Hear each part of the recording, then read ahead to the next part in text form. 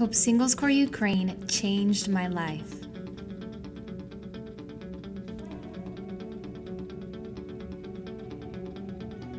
Say again.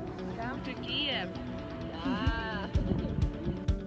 It's hard to put into words how one trip changed my entire perspective on life, on love, and on service.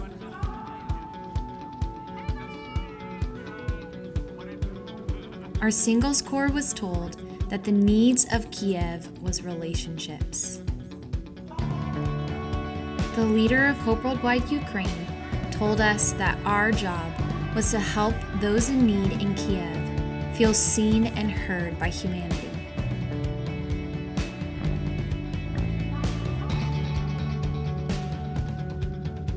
So together we traveled through the streets of Kiev,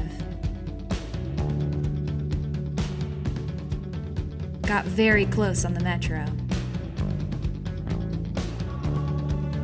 and met up with some campus students to start our days of service. The first place we went was an elderly home. They had told us that we were the first new visitors they had seen in over a year. We brightened their day with treats and just listen to them about their amazing rich pasts.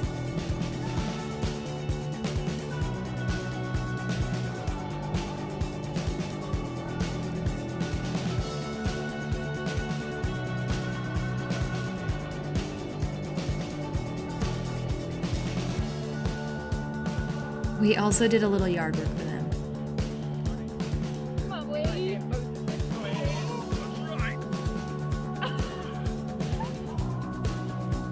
The thing that I took away most from my trip to Ukraine was the people. Although we didn't speak the same language or have the same culture, I had never connected so closely and so quickly with people before in my life. Each of them had so much joy and amazing hearts of servants, some of them taking two whole weeks off just to serve us and those in need in Kiev.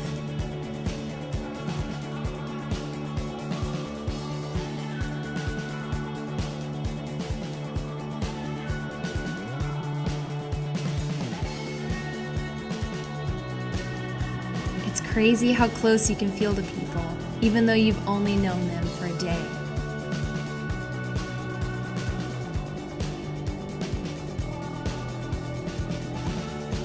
And through serving together, we became family.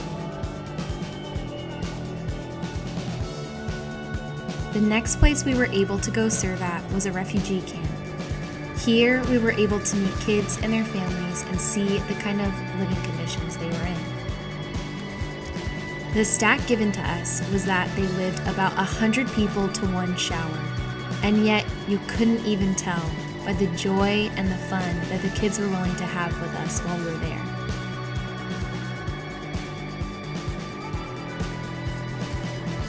When witnessing this kind of poverty, what comes to mind is what Sean Wooten said to us on our first night. He said the Bible does not ask us to feel guilty about the poor, but to defend them. And that's exactly what we did.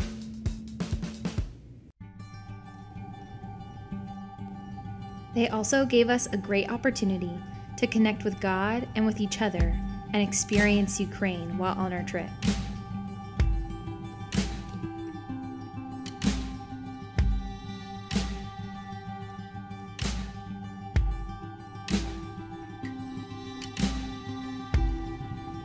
Wade Cook, the leader of our singles corps, made a comment at the beginning of our trip that changed my perspective for the entire time we were there. He said, One of my life's purposes is to help people know that they are seen, that I see them, that others see them, and most of all, that God sees them. And this became my new purpose while in Ukraine.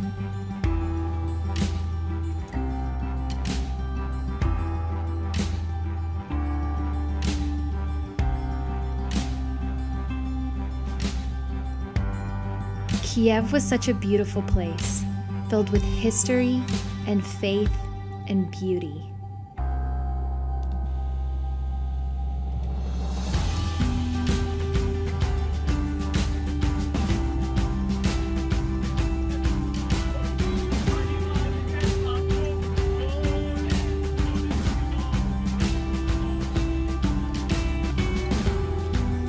Lastly, we all piled into Vitalik's van. House on wheels.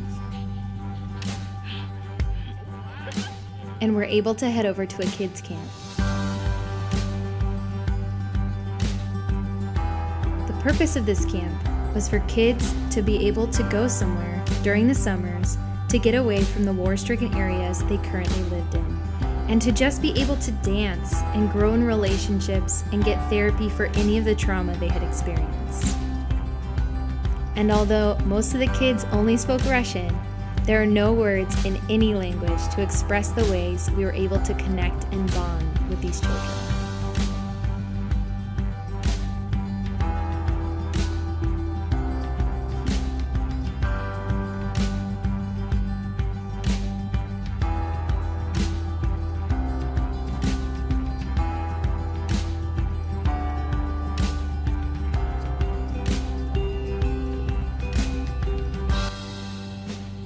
The end of the day, we didn't do much manual labor. But when you think of poverty, there are more kinds of poverty than just financial poverty. And so, as we served Ukraine, we didn't feel guilty that we might know more than the people around us, or that we might have more than the people around us. Instead, we built relationships. We made memories that could last a lifetime and friendships that can last even longer than that. We defended the poor